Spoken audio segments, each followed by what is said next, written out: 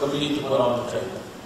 And the first point is that in our country, we have more people in jail than any other country on earth.